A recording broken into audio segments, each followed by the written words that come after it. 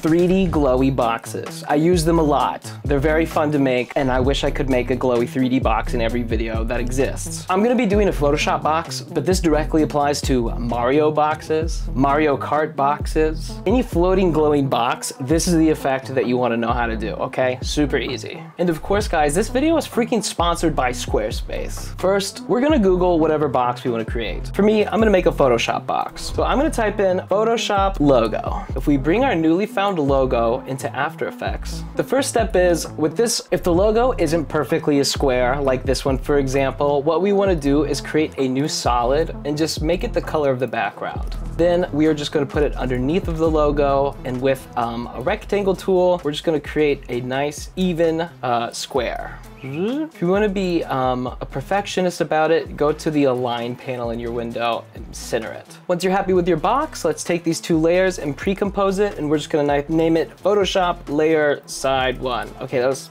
you don't need to make it that long. But let's make this a 3D box.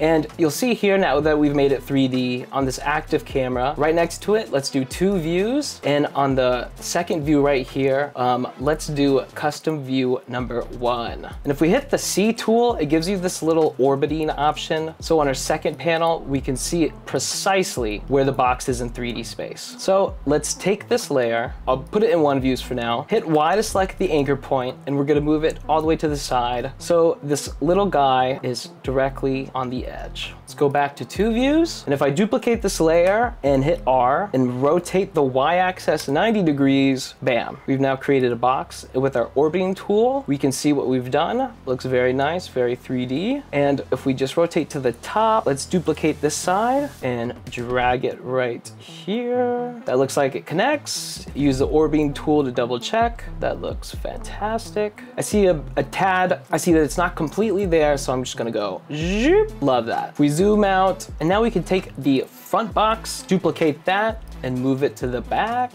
Now we have um, a complete box. We just have to make the tops. So to make the top, let's select one of the sides. I'll do this front side. And if we grab our anchor point tool and we bring it to the very, very tippy top, let's duplicate it and hit R, and we're gonna crank up the X rotation. And you can just type in straight up 90 degrees and it should do exactly what you want it to do. Let's check out all of our other boxes. Wow, this looks awesome. It's almost like a perfect 3D box. And of course, the bottom here is hollow. A lot of the times I won't even fill in the bottom because you won't really see it, but just duplicate the top layer and with the Y arrow, bring it down until it completes the box. And remember, you can keep checking to see if it fits if you hit the C tool and cycle through all of like the 3D camera options. And now that we've got this perfectly 3D box, let's pre-compose all of these sides. Um, so now it's just gonna look like a 2D image, but we're just gonna check the 3D box and the star rasterization thingy. We go back to two views, and select on this uh, second view top,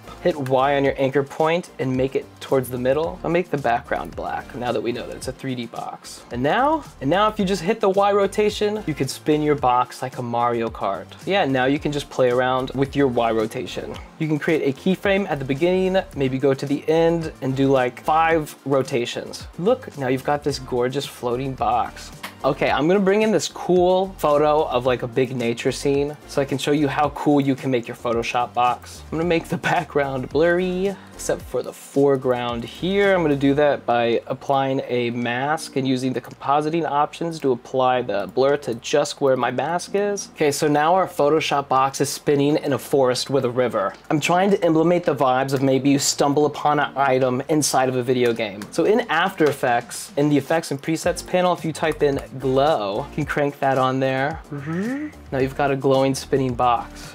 You can even lower the opacity and it looks like the Tesseract. If you want to do something fun, you can create two position keyframes so the box will pop up into your scene. Boom. I will link this expression um, below, but Cinecom.net has this incredible bounce expression that if you copy and paste in any, uh, literally any uh, feature in After Effects, watch. If you bring two position keyframes together and apply, um, it will pop up and do a bounce. And you can apply the motion blur, bam it looks great. Now you've got an item. And just a few ways you can like stylize this. On the inside of these, you could like lower the opacity of all of these Photoshop boxes so you can see the other sides of them, which can give you a cool look. So now like the box is transparent. And let's say like if you want to do a Mario Kart thing, you could get rid of like the, the Photoshop logo and maybe let's download coin PNG just gonna save this image of a coin. If I bring that in here, if I turn this into a 3D object, I can put it inside this box and I can give it its own X rotation. How cool, I mean Y rotation. So if I create uh, rotation keyframes for this and like crank it up, now this coin is gonna spin inside the 3D box. So when we go to our main comp, we've got like a box item with something inside of it. Okay, I'll get rid of the, the rotation keyframes on the coin. So it's just like an item inside the box. Mm. Inside this comp, I'm gonna add a deep glow to the coin. So fun. So yeah, that's how you would put something inside of a box. This is such a bad example, but I hope the, the effect translates. What you could also do is, um, in the case of a Mario Kart box, there's an effect called checkerboard, and you could put that on your effect and turn the blending mode to stencil alpha. So if you put checkerboard on one of these layers, see what happens here. You can crank your width up to make these boxes really big and fat. I get rid of the uh, Photoshop logo and apply this checkerboard effect to all of them and I'll put an adjustment layer over top of everything and do a four, uh, four color gradient. I'll just go back into the main comp and I want you to show how it looks like we've created a Mario Kart box. And once you play around with the glow, you can have a Mario Kart box. It's spinning really fast. You can just play around with the size of the checkerboard of all these different layers. And just to show you how easily this could be like a Mario Kart box, let me change this solid to, um, I guess, what's the color? Like dark yellow kind of. Get rid of the Photoshop logo. Get out of here. And then with the text tool, I'll create a question mark. God, what font is that? Um, Arial, do Arial black. Let's make this question mark giant. Wait, it's definitely white.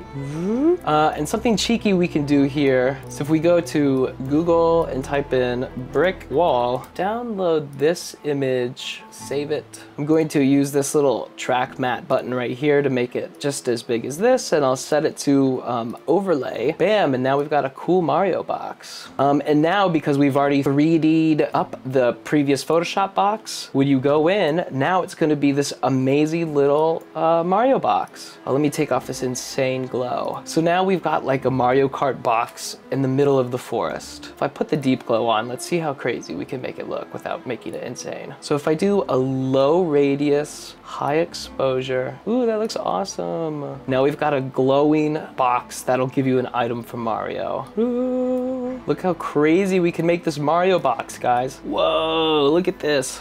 So yes, play around with your 3D boxes and your glows. It's pretty incredible. You can do this with anything. Video game, pop-ups, galore. I hope you feel enlightened. This is such useful knowledge, so many good tricks. And of course, guys, this video is freaking sponsored by Squarespace. From online stores and marketing tools and analytics, Squarespace is an all-in-one platform. Let's say you want to be a successful business person. As an independent artist, I know the feeling. To start, they let you do custom merch. So if you're an influencer or you want to create a business around you as a personality or even a brand, you can rely on Squarespace for shipping and inventory and even design. Do the whole process through Squarespace. To dovetail off that, they have online retail stores. So not only can you make your own merch through Squarespace, if you make your own custom products yourself, or even digital products like LUTs, visual effects templates or visual effects assets, you can put them in a really beautifully crafted online store within Squarespace. So it's a one-stop shop for everything e-commerce. And one of my favorite parts is if you want to make extra money making exclusive bonus content for your audience, they have member areas. So you can put exclusive bonus content that no one else will ever see anywhere except your Squarespace website. So you can start monetizing off of monthly subscriptions to basically your private library of bonus videos. Squarespace is amazing and I even got you a discount code. So if you go to squarespace.com slash Will Carmack, you'll get 10% off your first website or domain.